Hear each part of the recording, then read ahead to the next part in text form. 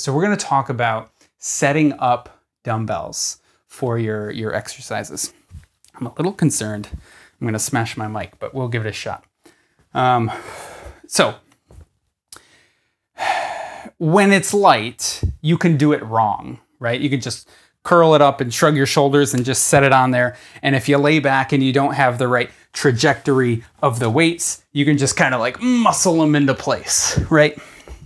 The reason I have the 90s is to show you that's just not always going to work. When you've got really heavy weights, you've got to figure out, you know, relative to what you can do, when the weights are heavy, you've got to be very um, systematic about how you set up.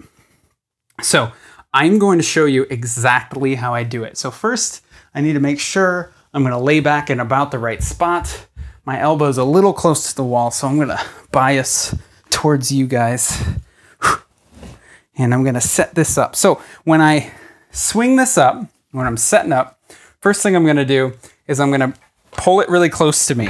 If it's really far away from me, I have to pull and drag and I got to kind of do a lateral raise with my deltoid. Not a strong muscle, especially compared to like a bench pressing set of muscles. So I'm to pull it in really close to me and then I'm going to tilt it up. I got my hand on the handle, my right hand on my handle for my right dumbbell. And then I'm just going to kind of slide it up with two legs. Um, this version of the power block that I have, these adjustable dumbbells, it's got this little nubbin that sticks out and comes medial.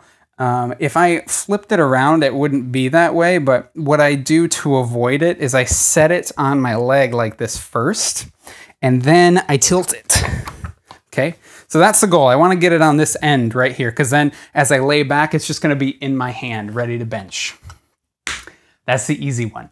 The hard one is the other arm, because I've got to somehow balance this one and I'm gonna just assume that maybe you don't have someone to help you. So don't test this with a one rep max. Um, you gotta practice. I've got a bunch of clients who it takes weeks to kind of learn this new movement. It's just like, you know, picking up dancing or something. You have to learn the timing of everything. Um, so same idea over here. I'm gonna swing it in close, but not too close to squash my microphone. Oh, wish me luck. Um, and I'm gonna use some body English to get this up. I'm even gonna shrug my shoulder. It's probably not gonna look that pretty, but I wanna hike it as high as I can so that this fat bottom end, let me straighten that out. This fat bottom end gets flat on my leg, okay? Now that my right leg is numb, let's give this a go.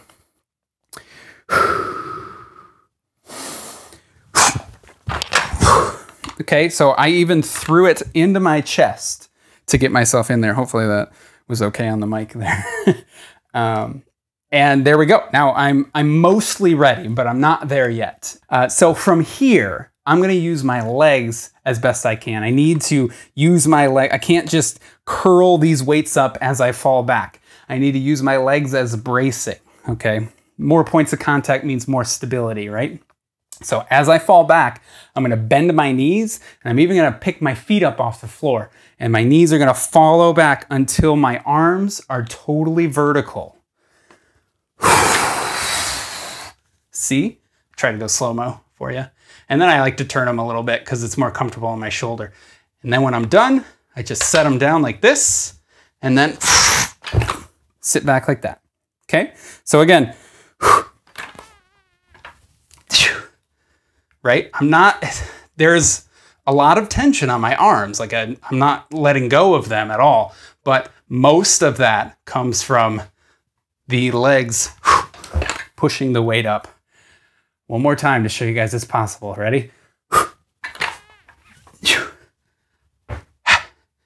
Do my reps and then done just like that. And then I just reverse it to get the weights off. So I go one arm like that, and then I go two arm, back down flat, and then back down on the ground. Those are the two hardest parts, getting them up there and then uh, getting your arms straight, making sure you're using your legs long enough, right? So we wanna maximize your leverage. When you do a bench press, when you get to the top, your arms should be totally vertical. The weight should be over your forearm, over your elbow, over your humerus, over your shoulder, because bones handle compression really well. Okay. Um, and that gives you good leverage. Your muscles hardly need to work to hold it there. I think that's all I got for you. Watch this video a couple times, practice a bunch of times with gradually increasing weights. When you get heavy enough weights, you can't cheat. Um, so at some point, you're gonna have to test with heavy enough weights, but that's the way to start benching heavy at home.